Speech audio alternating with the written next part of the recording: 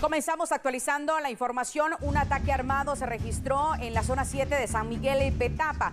Vamos a conocer el reporte detallado porque al parecer dos personas fueron las que resultaron heridas y fueron trasladadas de urgencia hacia el hospital Roosevelt. El periodista del pueblo Marvin García tiene el reporte completo. Marvin, vamos contigo, adelante.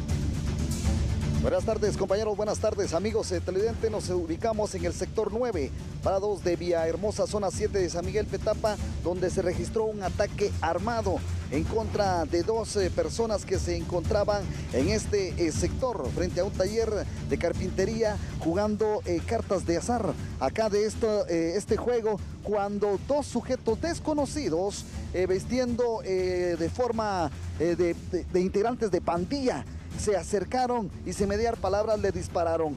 Se tratan de uno de aproximadamente de 52 y de 63 años de las personas que se encuentran, como usted puede observar, parte de las imágenes donde se encuentran las eh, cartas que jugaban ellos eh, sentados acá en la banqueta y tratando de refrescarse con una eh, agua en este sector cuando observaron los vecinos en el lugar y ellos les dispararon sin mediar palabras. De inmediato, bomberos municipales departamentales de este sector trasladaron a los heridos a la emergencia del hospital Roosevelt a estas dos personas de aproximadamente 52 y 63 años de edad.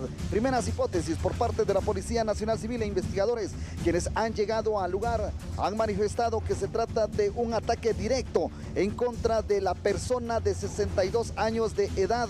Es por ello que inician las investigaciones y persecución por los datos que se mantienen de los dos sicarios, pandilleros quienes dispararon en contra de estas dos eh, personas. Como ustedes pueden observar, el fuerte movimiento, el despliegue de la Policía Nacional Civil que se encuentra en este eh, sector en este momento. Están indicando de que están ubicando la motocicleta que utilizaron eh, los sicarios quienes dispararon en contra de estas dos personas. Se está dirigiendo una de las unidades al punto. Estaremos pendientes nosotros para ver cuáles son los resultados que se obtienen de esto, ya que las investigaciones han dado con la motocicleta que la han dejado abandonada en el lugar. Los sicarios que dispararon en contra de estas dos eh, personas han eh, manifestado que es una posible venganza entre eh, pandilleros porque los que vinieron a atacar eh, eh, son los que cobran extorsión algunos comercios en este lugar y una de las personas, el de 52 años de edad, también se dedica a cometer este delito y es por ello que puede hacer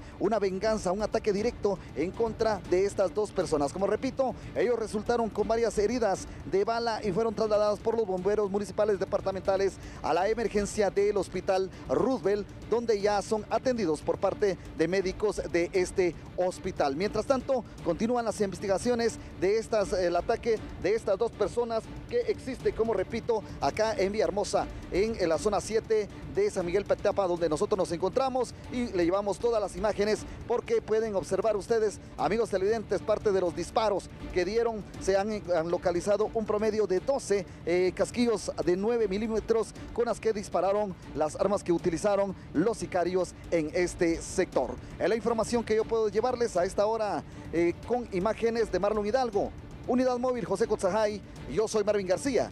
Regresamos con ustedes a Estudios Central.